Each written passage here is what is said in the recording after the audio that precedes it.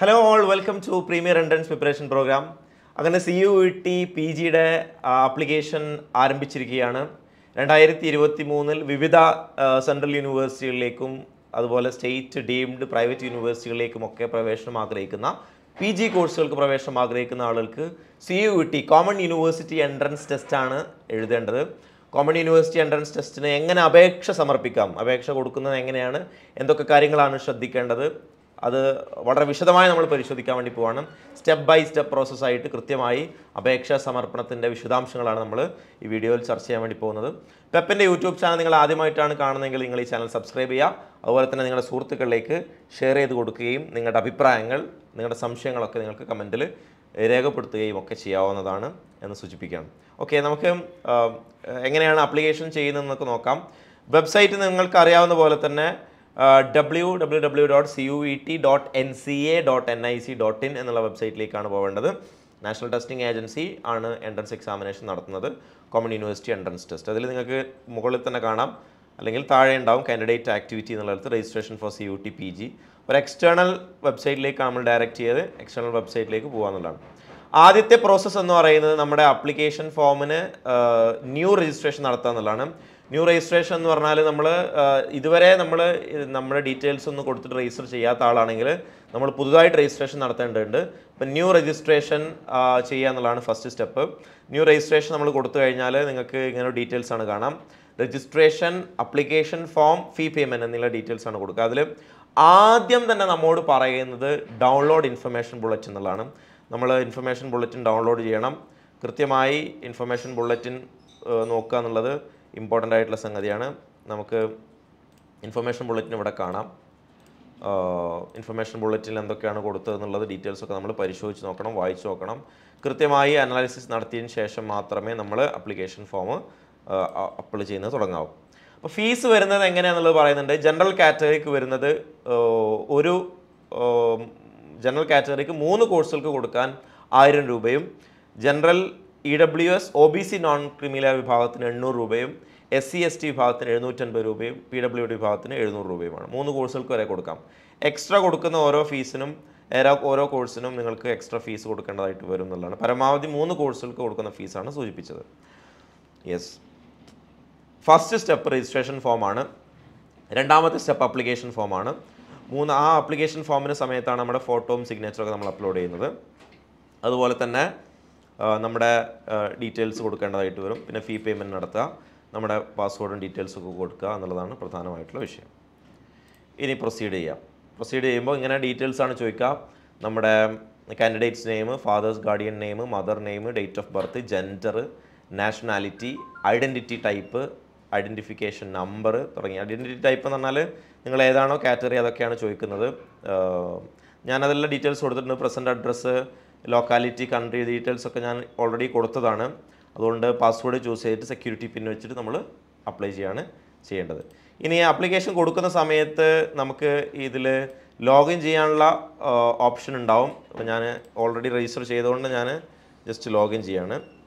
എന്നിട്ട് നമ്മൾ അടുത്ത സ്റ്റെപ്പിലേക്ക് പോകാം. ഫസ്റ്റ് സ്റ്റെപ്പ് നമ്മൾ കംപ്ലീറ്റ് ചെയ്തു. രജിസ്ട്രേഷൻ ഫോം കംപ്ലീറ്റ് ചെയ്യാനുണ്ടാവുക നമ്മൾ കംപ്ലീറ്റ് ചെയ്യും. വീണ്ടും നിങ്ങളോട് കുറേ ഡീറ്റെയിൽസ് ബാക്കിയുണ്ടെങ്കിൽ വീണ്ടും രജിസ്റ്റർ ചെയ്യാൻ വീണ്ടും നിങ്ങളുടെ ഫോം കംപ്ലീറ്റ് ചെയ്യാൻ വേണ്ടി പറയും. രണ്ടാമത്തെ സ്റ്റെപ്പാണ് അപ്ലിക്കേഷൻ ഫോം എന്നത്. അത് ഇൻകംപ്ലീറ്റ് ആണ്. അപ്ലിക്കേഷൻ ഫോം എന്നുള്ളതിൽ ക്ലിക്ക് ചെയ്താൽ നിങ്ങൾക്ക് കാണാം. അതിൽ നിങ്ങളുടെ പേഴ്സണൽ ഡീറ്റെയിൽസ് ആധാർ ഡീറ്റെയിൽസൊക്കെ കംപ്ലീറ്റ് ആണ്. ഇനി നമ്മൾ എക്സാമിനും എക്സാം സെന്ററിനുമാണ് അപ്ലൈ ചെയ്യേണ്ടത്.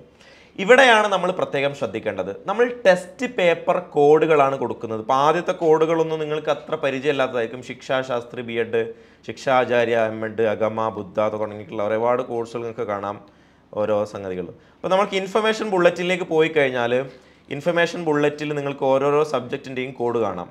സബ്ജക്റ്റിന്റെ കൃത്യമായിട്ടുള്ള കോഡുകൾ കാണാം. പാർട്ടിസിപ്പേറ്റിംഗ് യൂണിവേഴ്സിറ്റീസ് കൊടുത്തിട്ടുണ്ട്. അതുപോലെ തന്നെ ലിസ്റ്റ് ഓഫ് ക്വസ്റ്റ്യൻ പേപ്പേഴ്സ് അതിന്റെ സബ്ജക്റ്റ് വൈസ് തന്നെ കൊടുത്തിട്ടുണ്ട്. ഉദാഹരണത്തിന് മാസ് കമ്മ്യൂണിക്കേഷൻ ആൻഡ് ജേർണലിസം ആണ് ഒരാൾ ലക്ഷ്യം വെക്കുന്നതെങ്കിൽ അയാളെ സംബന്ധിച്ചിടത്തോളം അയാൾ എടുക്കേണ്ട കോഡ് എന്ന് പറയുന്നത് C O Q P one seven ആണ്.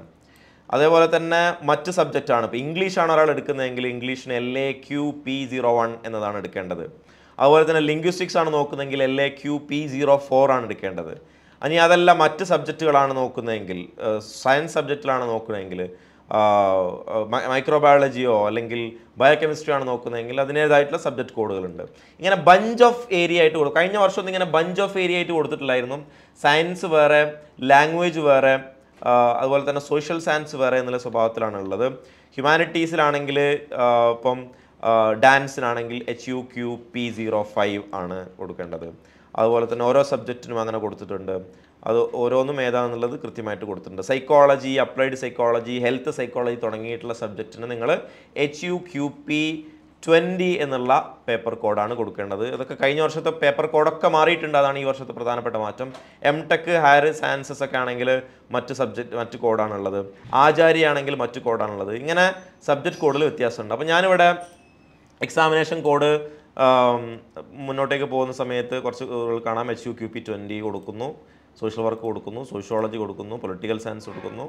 പരമാവധി മൂന്ന് സബ്ജക്റ്റ് വരെ ഒരു ഫീസാണ്. മൂന്നിലധികം സബ്ജക്റ്റ് ആണെങ്കിൽ നിങ്ങൾക്ക് കൊടുക്കും. ഞാനിവിടെ ഇരുപത് സബ്ജക്റ്റ് വരെ ഒരാൾക്ക് കൊടുക്കാം. ഇംഗ്ലീഷ് കൊടുക്കുന്നുണ്ട് ലിംഗ്വിസ്റ്റിക്സ് കൊടുക്കുന്നുണ്ട് അതുപോലെ ജർമ്മൻ കൊടുക്കുന്നു അതുപോലെ മലയാളം കൊടുക്കുന്നു.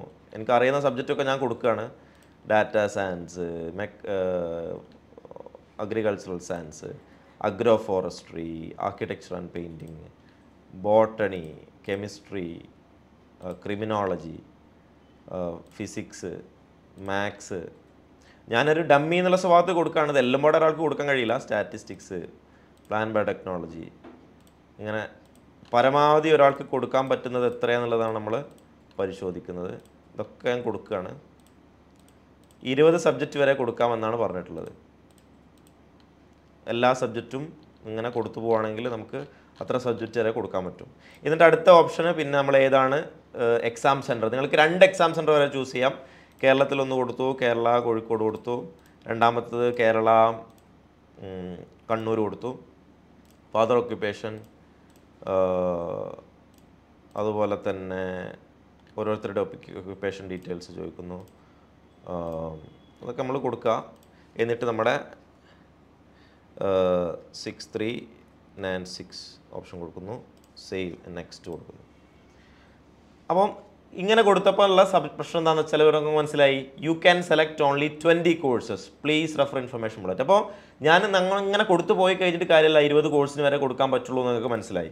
ഇനി അടുത്ത ഓപ്ഷൻ ഇത് എത്രയാണോ കൊടുത്തിട്ടുള്ളത് കുറക്കുക എന്നുള്ളതാണ്. ഞാൻ പലതും കുറക്കുകയാണ്. ഓക്കെ നേരത്തെ കൊടുത്തിട്ടുള്ള സബ്ജക്റ്റുകളൊക്കെ കുറച്ച് കഴിഞ്ഞാൽ ഇരുപതിലേക്ക് എത്തുമെന്ന് വിചാരിക്കുന്നു. അങ്ങനെ നമ്മൾ കുറച്ച് കൊടുക്കുന്നു. പല സബ്ജക്റ്റ് ഒഴിവാക്കുന്നു.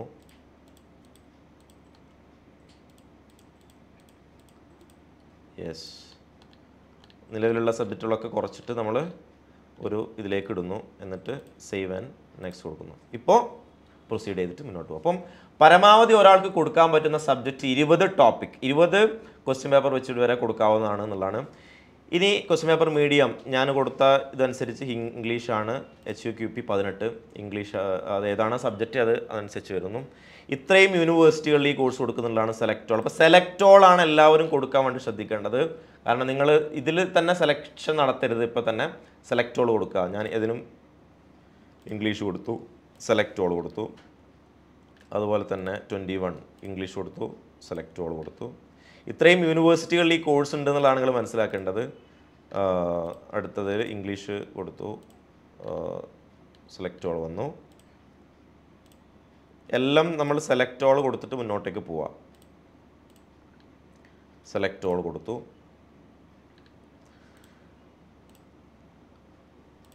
മലയാളം കൊടുത്തുകൊണ്ടാണ് സെൻട്രൽ യൂണിവേഴ്സിറ്റി ഓഫ് കേരളയിൽ മാത്രമാണ് മലയാളം വരുന്നത് അതുകൊണ്ടാണ്. ഇംഗ്ലീഷ്. കൊടുത്തു സെലക്ടോൾ കൊടുത്തു. സെലക്ടോൾ കൊടുത്തു. ഇത്രയും കോഴ്സ് ഞാൻ കൊടുത്ത സമയത്ത് എല്ലാത്തിനും സെലക്ടോളാണ് കൊടുത്തത്. അതുകൊണ്ട് പ്രത്യേകം ശ്രദ്ധിക്കുക. ഇനി സെക്യൂരിറ്റി പിന്നെ അടിച്ചു കൊടുക്കുന്നു. W N nine three five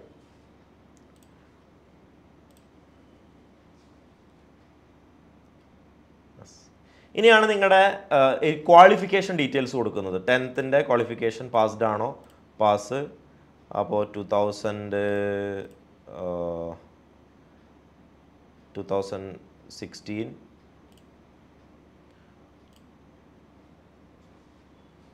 tenth or equivalent കഴിച്ചു. ഇന്ന ബോർഡാണ് യൂണിവേഴ്സിറ്റിയാണ്. ഏതാണെന്നുള്ളത് കൊടുക്കുക. സി ബി എസ് സി ആണ് C B S C result mode. Percentage ആണ് roll number one two three four five six seven. Dummy roll കൊടുക്കുകയാണ്. പ്ലസ് ടുവിന്റെത് പാസ്ഡ് ആണോ? പാസ്ഡ് ആണ്. Year of passing two thousand twenty ഓരോ നമ്മൾ details കൊടുക്കുകയാണ് result mode percentage അതിൽ നിങ്ങൾ എത്ര മാർക്കാണ് കിട്ടിയത്?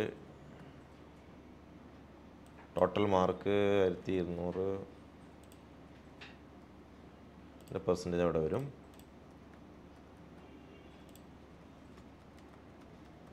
ഡീറ്റെയിൽസ് കൊടുക്കുന്നു. ഗ്രാജുവേറ്റിന്റെ കേസിൽ മിക്കവാറും ആളുകൾ ഫൈനൽ ഇയേഴ്സ് ആണെങ്കിൽ അവർ അപ്പിയറിംഗ് ആയിരിക്കും ഉണ്ടാവും അപ്പിയറിംഗ് ആകുമ്പോൾ പിന്നെ പ്ര- പ്രശ്നമൊന്നുമില്ല. രണ്ടായിരത്തി ഇരുപത്തി മൂന്നിനായിരിക്കും ഇയർ ഓഫ് പാസിങ് ഏതാണ് നിങ്ങളുടെ സ്ട്രീം എന്നുള്ളത് ചോദിക്കുന്നു. ബി എ അതാണ് ഏത് യൂണിവേഴ്സിറ്റി ആണെന്നുള്ളത് കൊടുക്കുക. കാലിക്കറ്റ് യൂണിവേഴ്സിറ്റി ആണെങ്കിൽ യൂണിവേഴ്സിറ്റി ഓഫ് കാലിക്കറ്റ് എന്നുള്ളത് വരും. റോൾ നമ്പറും റോൾ നമ്പറും ഇൻസ്റ്റിറ്റ്യൂഷന്റെ നെയിമും അഡ്രസ്സുമാണ് ചോദിക്കുന്നത്. അത് നമ്മൾ വൃത്തിയിൽ കൊടുക്കാം. Five three five S one two. എന്നിട്ട് അപ്ലിക്കേഷൻ നമ്മൾ അടുത്ത ഇതിലേക്ക് പോകുന്നത് എന്താണ്? പോകാത്തത്? യെസ് റിസൾട്ട് മോഡ് പെർസെന്റേജ് ആണ്. J four U three one seven അപ്പോൾ നിങ്ങൾ അപ്ലൈ ചെയ്യുന്ന സമയത്ത് എന്തെങ്കിലും സംഗതികൾ വരികയാണെന്നുണ്ടെങ്കിൽ അതിൽ ഇതിൽ തന്നെ കാണിക്കും. എന്താണ് അതിൽ പ്രശ്നം എന്നുള്ളത് അവിടെ റെഡ് മാർക്കിൽ കാണിക്കും. അതിനനുസരിച്ച് മുന്നോട്ടേക്ക് പോയാൽ മതി. സേവ് നെക്സ്റ്റ് കൊടുത്തു. ഇനി നിങ്ങളോട് ചോദിക്കുന്നു have you appeared any pass തുടങ്ങിയ നാഷണൽ ലെവൽ എക്സാം നിങ്ങൾ ഏതെങ്കിലും എക്സാം പാസ് ചെയ്തിട്ടുണ്ടെങ്കിൽ എസ് കൊടുക്കുക. എസ് കൊടുത്താൽ ഏതാണെന്ന് ചോദിക്കും. ഗേറ്റ് അല്ലെങ്കിൽ C MAT I F T U G C നെറ്റൊക്കെ pass ചെയ്തിട്ടുണ്ടെങ്കിൽ നിങ്ങൾ ചോദിക്കും. അതിന്റെ സ്കോറും സാധനങ്ങളൊക്കെയാണ്. ഞാനവിടെ നോ കൊടുക്കുകയാണ്. നോ കൊടുത്താൽ വരുന്നില്ല. Six zero three six U M ഒരു കമ്പ്യൂട്ടർ സിസ്റ്റവും അതുപോലെ തന്നെ ആക്റ്റീവ് ഇന്റർനെറ്റ് കണക്ഷൻ ഉണ്ടെങ്കിൽ ആർക്കും ചെയ്യാൻ പറ്റുന്നതാണ് ആപ്ലിക്കേഷൻ ഫോം പരമാവധി മൊബൈൽ ഫോണിൽ നിന്ന് ചെയ്യുന്നത് ഒഴിവാക്കാൻ വേണ്ടി ശ്രദ്ധിക്കുക. ഒന്നെങ്കിൽ ലാപ്ടോപ്പോ കമ്പ്യൂട്ടറോ ഉപയോഗിച്ചുകൊണ്ട് അപ്ലിക്കേഷൻ ഫോം ചെയ്യാന്നുള്ളതാണ് ഫോട്ടോ നിങ്ങൾ അപ്ലോഡ് ചെയ്യുന്ന സമയത്ത് കൃത്യമായിട്ട് പറയുന്നുണ്ട്. എന്താണ് ഫോട്ടോ വേണ്ടത്? ഏത് ടൈപ്പ് ഓഫ് ഫോട്ടോ ആണ് വേണ്ടതെന്നൊക്കെ ഫോട്ടോ അപ്ലോഡ് ചെയ്യാൻ വേണ്ടി പറഞ്ഞു. നമ്മൾ അപ്ലോഡ് ചെയ്തു. സിഗ്നേച്ചർ അപ്ലോഡ് ചെയ്യാൻ വേണ്ടി പറയുന്നു. സിഗ്നേച്ചർ അപ്ലോഡ് ചെയ്തു. ഡീറ്റെയിൽസ് കഴിഞ്ഞാൽ six H two two three eight save and next ഇനി നിങ്ങളോട് ലാസ്റ്റ് ചോദിക്കുന്ന കാര്യം റിവ്യൂ ചെയ്യാൻ വേണ്ടിയിട്ടാണ്. നിങ്ങൾ കൊടുത്ത കാര്യങ്ങളൊക്കെ ഫൈനലായിട്ട് ഡീറ്റെയിൽസ് കൊടുത്ത സാധനങ്ങൾ ഓപ്ഷൻസ് സാധനങ്ങളെല്ലാം നിങ്ങൾ കൊടുത്ത ടെസ്റ്റ് പേപ്പർ കോഡൊക്കെ ഡീറ്റെയിൽ ആയിട്ട് ചോദിക്കുന്നുണ്ട്. ഞാൻ കൊടുത്ത സാധനങ്ങളൊക്കെ ഡമ്മി ഡീറ്റെയിൽസ് ആണ്. നിങ്ങൾ കൊടുത്ത സാധനങ്ങൾ കറക്റ്റ് അല്ലേ എന്നുള്ളത് അല്ലെങ്കിൽ ഡീറ്റെയിൽസ് കൊടുത്തത് കറക്റ്റ് അല്ലേ എന്നുള്ളത് നിങ്ങൾ ഉറപ്പ് വരുത്തണം. പ്രത്യേകിച്ച് ഔട്ട്സൈഡ് സെന്ററുകളിലോ അക്ഷയ സെന്ററുകളിലോ അല്ലെങ്കിൽ കമ്പ്യൂട്ടർ സെന്ററുകളിലോ ഒക്കെ പോയി ചെയ്യുന്ന ആളുകൾ നിങ്ങൾ കൊടുത്ത ഇൻഫർമേഷൻസ് കറക്റ്റ് അല്ലേ എന്ന് റിവ്യൂ ചെയ്യാൻ ലാസ്റ്റ് മിനിറ്റ് ഒരു ഓപ്ഷൻസ് ഉണ്ടാവും. അതുവരെ നിങ്ങൾ വെയിറ്റ് ചെയ്യണം റിവ്യൂ ചെയ്ത് കൃത്യമായിട്ടുള്ള റിവ്യൂ ചെയ്തതിന് ശേഷം മാത്രമേ ഫൈനൽ സബ്മിഷൻ കൊടുക്കാൻ വേണ്ടി പാടുള്ളൂ. നമ്മൾ കൊടുത്ത യൂണിവേഴ്സിറ്റികളുടെ എല്ലാം ലിസ്റ്റ് ഇവിടെ കാണാൻ വേണ്ടി സാധിക്കും. കംപ്ലീറ്റ് ലിസ്റ്റ് ഇവിടെ കൊടുത്തിട്ടുണ്ട്. ആ ലിസ്റ്റ് വെച്ചുകൊണ്ട് നമ്മൾ എന്ത് ചെയ്യുക? അപ്ലിക്കേഷൻ നടത്താൻ വേണ്ടിയിട്ടാണ് ശ്രദ്ധിക്കുകയും ശ്രമിക്കുകയും ചെയ്യേണ്ടത്. എല്ലാം നമ്മൾ കൊടുത്ത ഡീറ്റെയിൽസ് ഉണ്ട്. ഫോട്ടോയും സിഗ്നേച്ചർ അടക്കം വരും. എന്നിട്ട് നമ്മളോട് വെരിഫിക്കേഷൻ പറയും name date of birth contact details exam cities father name gender universities national ഇതൊക്കെ നമ്മൾ നമ്മളോട് വീണ്ടും ചെക്ക് ലിസ്റ്റ് എന്നുള്ള സ്വഭാവത്തിൽ ചോദിക്കുകയാണ് അപ്പോൾ ചെക്ക് ലിസ്റ്റ് വെറുതെ ക്ലിക്ക് ചെയ്ത് പോവല്ല വേണ്ടത്. ചെക്ക് ലിസ്റ്റ് നിങ്ങൾ ചെക്ക് ചെയ്യണം. ഈ ചെക്ക് ലിസ്റ്റ് ക്ലിക്ക് ചെയ്യുന്നതിന് മുമ്പ് ഈ ഫാദർ നെയിം കറക്റ്റ് അല്ലേ ജെൻഡർ കറക്റ്റ് അല്ലേ യൂണിവേഴ്സിറ്റീസും ക്വസ്റ്റ്യൻ പേപ്പർ കോഡും കറക്റ്റ് അല്ലേ എന്ന് നോക്കിയിട്ട് ക്ലിക്ക് ചെയ്യണം എന്നുള്ളതാണ്. കാറ്റഗറി ടെസ്റ്റ് പേപ്പേഴ്സ് കൊടുക്കാം. എന്നിട്ട് ഐ അഗ്രി കൊടുത്തിട്ട് ഫൈനൽ സബ്മിഷൻ ഓഫ് അപ്ലിക്കേഷൻ എന്ന് പറഞ്ഞിട്ട് വരും. ഫൈനൽ സബ്മിഷനിലേക്ക് വരുന്ന സമയത്ത് നിങ്ങൾക്ക് വീണ്ടും എഡിറ്റ് ചെയ്യാനുള്ള ഓപ്ഷൻ ഉണ്ടെങ്കിൽ എഡിറ്റ് ചെയ്യാനുണ്ടാവും. അത് കൃത്യമായി പറയുന്നുണ്ട് after payment of fee you will not be able to edit final application details uploaded you required to pay the fee of rupees three thousand two hundred എനിക്ക് ത്രീ തൗസൻഡ് ടു ഹൺഡ്രഡ് വരാനുള്ള കാരണം എന്താണെന്ന് വെച്ചാൽ ഞാൻ additionally മൂന്ന് സബ്ജക്റ്റിൽ കൂടുതൽ വിഷയങ്ങൾ കൊടുത്തതുകൊണ്ടാണ് എന്ന് കൂടിയും പ്രത്യേകം ശ്രദ്ധിക്കുക എന്നതാണ്. ഇനി നിങ്ങളോട് ഇമെയിൽ ഐ ഡി വെരിഫൈ ചെയ്യാൻ വേണ്ടി പറയും. അത് വെരിഫൈ ചെയ്തതിന് ശേഷം നിങ്ങൾക്ക് പേയ്മെന്റിനുള്ള ഓപ്ഷനിലേക്കാണ് പോവുക. ഇമെയിൽ ഐ ഡി വെരിഫൈ ചെയ്യാൻ നിങ്ങളുടെ മെയിലിലേക്ക് ഒരു വെരിഫിക്കേഷൻ വന്നിട്ടുണ്ടാവും. അപ്പോൾ വെരിഫൈ വെരിഫൈ ചെയ്യാൻ വേണ്ടി പറയും. Your email I D verify ചെയ്യാൻ സെക്യൂരിറ്റി പിന്ന് കൊടുക്കും. P four two seven nine one കൊടുത്ത് സബ്മിറ്റ് ചെയ്യുക സബ്മിറ്റ് ചെയ്ത് കഴിഞ്ഞാൽ security pin O T P വരും. ഒ ടി പി വന്നത് നമ്മൾ ഇവിടെ അടിച്ചു കൊടുക്കുക. അതാണ് വേണ്ടത്. ഇമെയിൽ ഐ ഡിയിലേക്കാണ് ഡീറ്റെയിൽസ് വരിക. അതുകൊണ്ട് ഇമെയിൽ ഐ ഡി കൊടുക്കുന്ന സമയത്ത് പ്രത്യേകം വാലിഡ് ആയിട്ടുള്ള ഇമെയിൽ ഐ ഡി തന്നെയാണ് കൊടുത്തിരിക്കുന്നത് എന്നുള്ളത് ഉറപ്പുവരുത്താൻ വേണ്ടി പ്രത്യേകം ശ്രദ്ധിക്കേണ്ടതാണ്. വൺ ടൈം പാസ്വേഡ് നിങ്ങൾക്ക് ഒ ടി പി ആയിട്ട് ഇമെയിലിലേക്ക് വരികയാണ് ചെയ്യാം.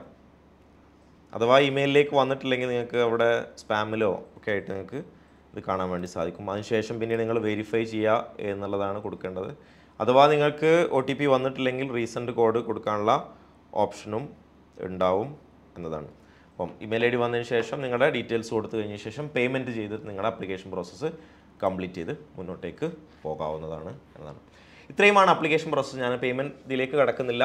ഇതുവരെയുള്ള പ്രോസസ്സ് വളരെ കൃത്യമായിട്ട് ഫോളോ ചെയ്ത് കഴിഞ്ഞാൽ പിന്നീട് നിങ്ങൾക്ക് പേയ്മെന്റ് കൂടിയാണ് ബാക്കി ഉണ്ടാവുക എന്നുള്ള കാര്യം പ്രത്യേകം ശ്രദ്ധിക്കുക. അപ്പോൾ അപ്ലിക്കേഷനിൽ സമയത്ത് എന്തെങ്കിലും സംശയങ്ങളുണ്ടെങ്കിൽ നിങ്ങൾക്ക് താഴെ കൊടുത്തിരിക്കുന്ന നമ്പറിൽ കോൺടാക്ട് ചെയ്യുകയും പെപ്പിന്റെ അഡ്മിഷൻ ഹെൽപ്പ് ഡെസ്കിനെ കോൺടാക്ട് ചെയ്യുകയൊക്കെ ചെയ്യാവുന്നതാണ്.